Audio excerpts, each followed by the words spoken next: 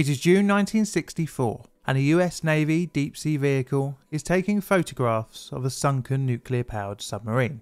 The boat is in pieces strewn across the seabed, some 190 nautical miles east of Cape Cod, Massachusetts. The area also serves as a gravesite for 129 dead personnel who were aboard when she lost communications. As the vehicle continues its survey of the boat, each photo hopes to better understand what had happened. The sub being photographed had sunk over a year earlier on the 10th of April 1963. She is called the USS Thresher. Her loss was the first nuclear powered submarine to be sunk at sea and would be a turning point in submarine design and operation. The disaster would haunt the US Navy, requiring it to regularly monitor the wreckage for signs of contamination from its nuclear reactor. Due to the nature of the vessel, for decades the disaster would be shrouded in mystery, but as always, it would boil down to a failure of an overlooked component and inadequate training. Today I'm looking at the USS Thresher disaster. My name is John, and welcome to Plainly Difficult.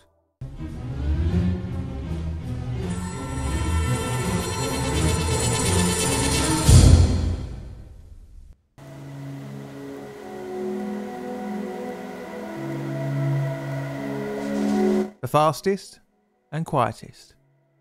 Our story begins in the late 1950s and the good old fun time known as the Cold War nuclear arms race. Tensions were, well, tense between the East and West.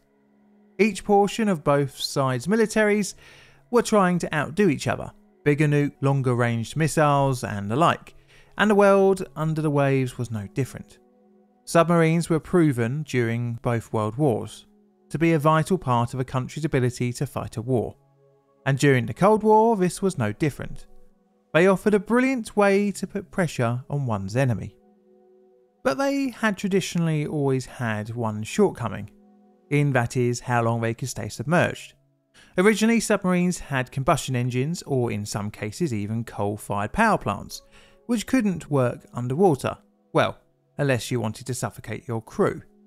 As such, they had to spend most of their time on the surface to charge their batteries and replenish air. Nuclear fission became the golden key to improving submarine endurance. You can run a nuclear reactor aboard a submarine without suffocating your crew, and with good enough shielding, you can even not irradiate them as well. So I'm really only just lightly touching on this to bring us to the central subject for this video, the USS Thresher. She was a class of nuclear powered, fast attack submarines, and the lead vessel in her class. The class was built to find and attack other submarines. She was to be nuclear powered by an already established unit, the S 5W reactor, used in the preceding Navy fast attack sub Skipjack class. But the Thresher would be designed around greater enemy sub detection. This would require a larger hull than her Forerunner. To achieve her mission of long range detection, she had a large bow mounted sonar sphere. To allow for the central sphere, she had angled midship torpedoes. Her sail was reduced in size from previous subs to reduce drag to increase speed, and she had isolated turbines on the submarine's hull in order to make her as quiet as possible. She had an improved hull, which allowed her to have an extended test depth of 1300 feet or 400 metres. The small sail, although handy for speed, giving the Thresher top speed of 33 knot in fact, only allowed space for one periscope. She would be the fastest and quietest vessel of her type, making her a formidable foe for any Soviet submarine. Construction on the Thresher began on the 15th of January 1958 at Portsmouth Naval Shipyard, with her keel being laid on the 28th of May 1958 being launched on the 9th of July 1960 and finally commissioned on the 3rd of August 1961. Following her commission, she would undergo extensive sea trials. As common with a first in class vessel, she was taken back to Portsmouth on the 16th of July 1962 for a scheduled six month post shakedown availability to examine systems and make repairs and corrections. It overran. Again, not particularly unheard of, and running into nine months, she was eventually recertified and undocked on the 8th of April 1963. After recertifying, she would be required to undertake a number of dive trials, which would begin a day later on the 9th of April 1963.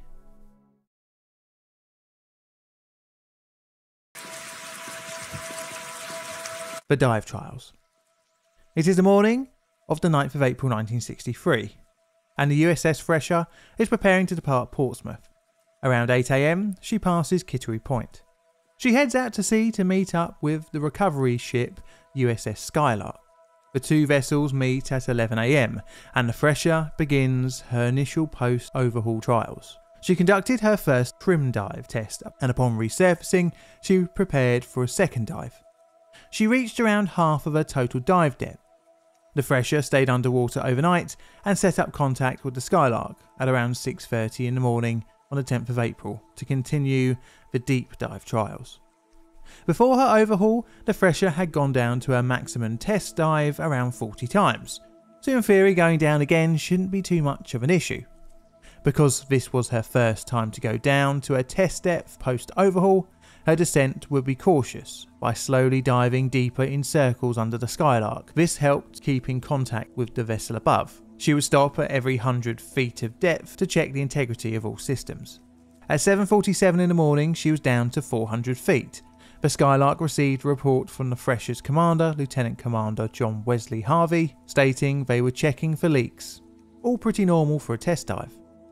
At 9 minutes past 8 in the morning, the Thresher reported again that she was now at one half test depth. Then, at 8.35, she was nearing her test depth at 300 feet from her target. At 9.12 in the morning, a test of the underwater telephone was completed and was satisfactory. However, not long after this, the Thresher reported via distorted message saying minor difficulties, have positive up angle, attempting to blow. Not long after, another message came through, but it was even more distorted, with only the word 900 that could be made out. At 9.14 in the morning, the Skylark requested the Thresher to transmit her course and bearing. A deafening silence returned. The Skylark continued to attempt to make contact with the now eerily quiet sub. At 9.17 in the morning, the silence was interrupted by garbled messages with the words test depth, which was the only ones that could be made out. Seconds later, the Skylark heard, with what sounded like, as her commander would later describe, a ship breaking up, like a compartment collapsing. Although a worrying sign, hopes were held that the submarine was just undergoing communications issues.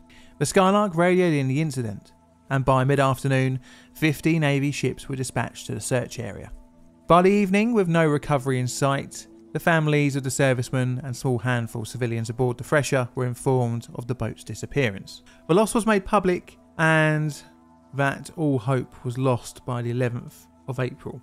On the 12th of April, President Kennedy ordered all federal government flags be flown at half mast for three days.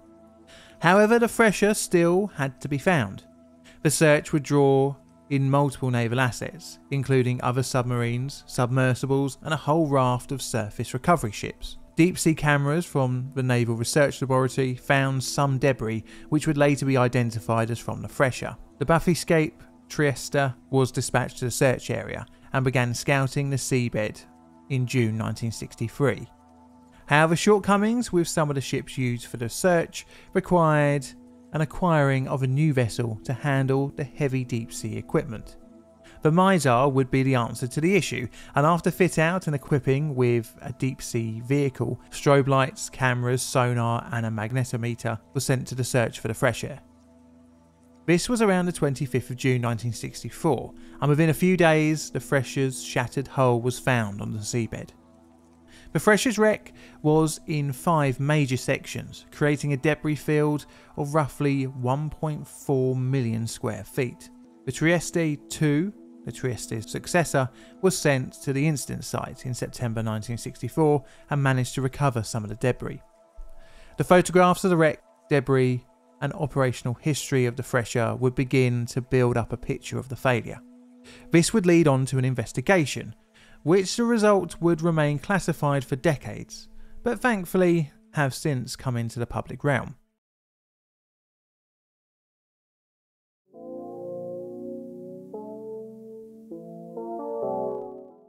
The cause. So, being a cutting edge nuclear powered submarine, the US Navy weren't the most eager to release what caused its demise. However, due to it being a nuclear powered submarine, contamination readings had to be accessible to the public. This was because the reactor could potentially pollute the sea, and regardless, it would be picked up by one country or another eventually. But the cause is what we want to know. The mystery would sadly come down to a rather common explanation, a rather human one at that, but we will come back to that in a few minutes. The Navy's official investigation honed in on a likely instigating moment for the disaster being a failed braze pipe joint rupturing in the engine room, roughly around 9 minutes past 9 during the test dive. It's reasonable to assume that the crew would have tried to fix the rupture. Again, when going over the garbled transmissions, Commander Harvey would have ordered full speed, full rise on the fairwater planes, and blowing the main ballast in order to surface. This was possibly the attempting to blow message heard by the Skylark. Blowing the ballast tanks would involve purging them of water with compressed air. It was later found in experiments that moisture inside the tanks could cause ice to form on strainers installed in the valves. The ice built up to a point that the airflow was obstructed, and thus reduced the submarine's ability to blow the ballast tanks and return to the surface. However, submarines don't solely rely on blowing ballast to reach the surface, especially at test depth. They normally pitch up and power to the surface. So, what caused the lack of propulsion then? Well, the burst pipe in the engine room could have caused an electrical short, which would have then caused the reactor to drop its control rods into the core, a safety feature called a scram. Scrams are actually good things as it protects the reactor, but not if you're filling up with water and need power. Operating procedures in use in the Navy at the time did not allow quick reactor startups following a scram. Again, it makes sense as you know a scram is a very important safety system trip and you would need some time to investigate why the scram happened. But alas, this is not great when you're filling up with water and sinking. To add more issue, the reactor's operation control officer, Lieutenant Raymond McCool, wasn't aboard the Thresher at the time, and instead his role was being filled by Jim Henry, a sailor newly qualified from nuclear power school and is likely he would have followed the strict protocol and not have been able to restart the reactor. No power meant no ability to surface, and now, heavier from the pipe rupture, the Thresher's fate was sealed. But although the disaster was technical in nature, the human element was the ultimate cause. But not only with the crew, but the Navy as a whole. You see, the Thresher was kind of rushed to get on the Navy's roster, and usually with rush jobs, staff training is the thing to suffer. You don't normally see the issues until something goes wrong.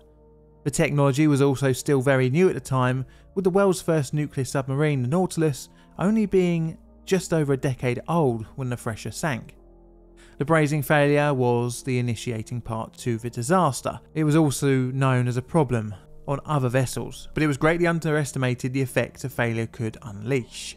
Sadly, all these seemingly minor issues worked out to be one costly one, both in lives and equipment. But it would offer valuable lessons for the US Navy, although sadly, it wouldn't be the last US nuclear submarine to be lost at sea. This is a Plainly Difficult production. All videos on the channel are Creative Commons Attribution Share Alike licensed.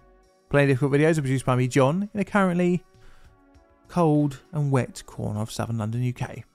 I have YouTube members and Patreons, so thank you for your financial support, as well as the rest of you who tune in every week to listen to me talk. I have a second channel, second YouTube channel, uh, Twitter or X, whatever you want to call it. I have an Instagram, and all that's left to say is thank you for watching, and Mr. Music, play us out please.